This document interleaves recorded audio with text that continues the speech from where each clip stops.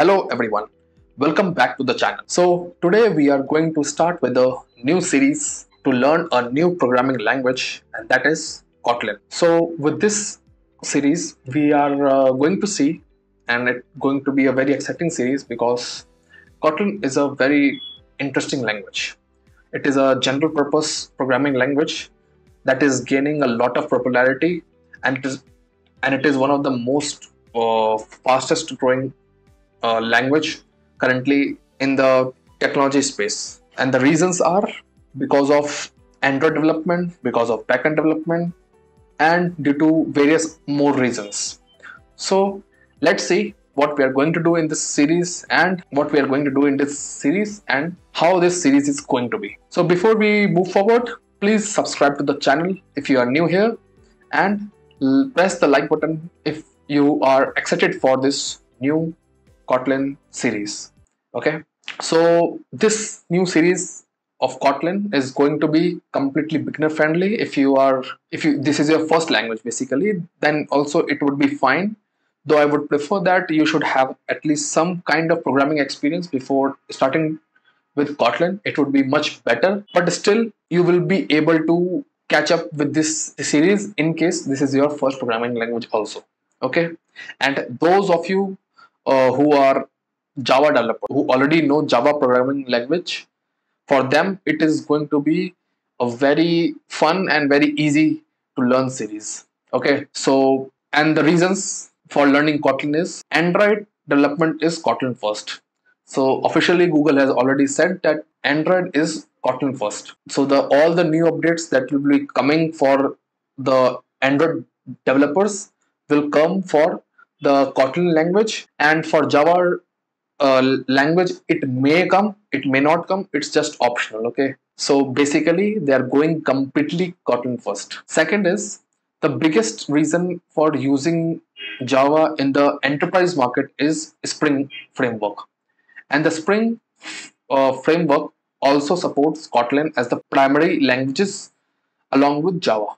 So this is one of the reason why it is being used and its popularity is growing. And third is there are uh, not all but there are significant big companies who are using kotlin alongside java.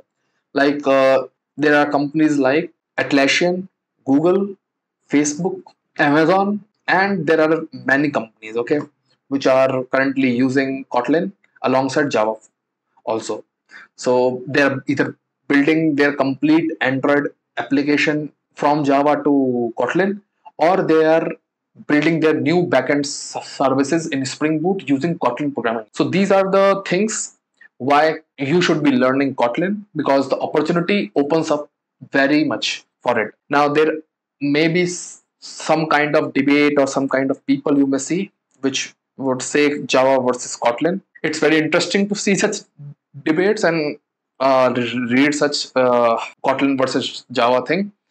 But personally, I think Java plus Kotlin is the best way to go forward and to be to be a person to be a developer who can grab the opportunity whichever comes up. So for me also, it's not that I have been I know Kotlin for a very long time. It's been few months only. I have I'm I also learned Kotlin because of the professional work only. So that's why I want to just share my learning with this series and uh, I hope this will be a very exciting one. And main important reason for learning Kotlin is learning new programming language gives a fresh perspective to think differently and it's exciting journey to learn something interesting. This is the most important thing that you should always have in your mind that every programming language is designed in a different way. It may look that okay, Kotlin is uh, kind of same to Java only, or this programming language is same to this only. Why should we learn it? But the thing is, every programming language, whether uh, you like it or not, that can be a different case, or maybe you use it or not, it's also different. But the thing is, if you're learning a new programming language, so you will get a new perspective, a new a way to think differently and it may help in your uh, when you're writing the code with your own favorite programming language okay so that is the reason why you should give a chance to yourself to learn kotlin so that is another thing that I always uh, see whenever I get a chance to learn a new programming language or any framework for that matter. Now the prerequisite for this is very simple. You should have a latest JDK. So currently latest JDK is 21 and the IDE we require is IntelliJ IDEA community. I would prefer IntelliJ IDEA over any other because the support for Kotlin in IntelliJ IDEA is very much superior compared to in Eclipse or in VS Code or in any other IDE. So that would be really awesome if you just use IntelliJ IDEA community version. Okay, so let's at least create a hello world in Kotlin. Okay, and from next lectures we will formally start with various topics. Okay? So here is the IntelliJ IDEA community and in the project section will come here new project. Here in new project I'll give it as learn Kotlin. I'll write learn Kotlin. I'll select Kotlin as the programming language here. In the build system we will not uh, choose Maven or Gradle because currently we, our focus is on learning the Kotlin. So if you select IntelliJ as a build system it will just give you a very simple structure of the kotlin project. So that we want okay? And you can uh, select the latest jdk i have 17 and 21 both here but i'll select go for the open jdk 21 and yeah. So nothing much to do. Let's create the project. It will take some time. Actually to run the to compile the kotlin programs you also need kotlin compiler but you don't have to install any compiler into your system because IntelliJ does it for you automatically. Okay, it has uh, everything that you require in it itself, right? So our project is now ready. Now, if you open the project, you will see that there is a Kotlin folder here. So just right click on it, new, and here select Kotlin class or file option. Okay, and here we will select Kotlin file option. And I will name it as hello world. Okay? This very simple one. We know that if you know about Java so Java is an object oriented programming language where we were writing everything inside class. But Kotlin is a general purpose programming language. It supports object orientation also but it's not only object oriented okay? So the entry point in Kotlin is a main function so let's define a main function. So, so to define a function, we use the keyword fun, fun. Then we write main brackets and then curly braces. This is as simple as that. And then we have a function known as print.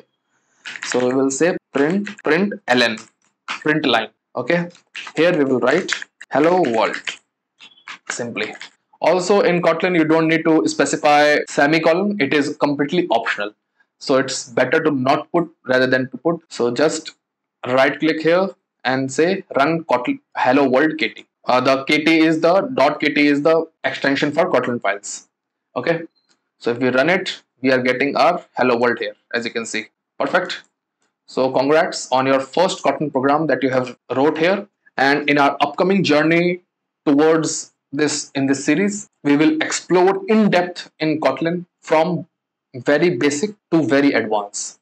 So there is no need to worry and I will explain you each and every concept with examples so that there is no confusion about those concepts. Okay, so as per my own personal experience of learning Kotlin in last uh, one or two uh, months that I have been learning it because of my uh, requirement in the professional work, I've seen that it's really amazing and interesting language and to work with it is very great. But not to say still for me because I've been using Java for a long time Java remains as my favorite programming language. But yeah I'm very very much liking the Kotlin also along with it. So that's why I prefer Java plus Kotlin as the way forward for my professional career. You can write your comments, your thoughts in the comment section and how much you are excited for it and what you think about it. So that's for all this in this video. I'll see you in the next one. Till then, bye bye.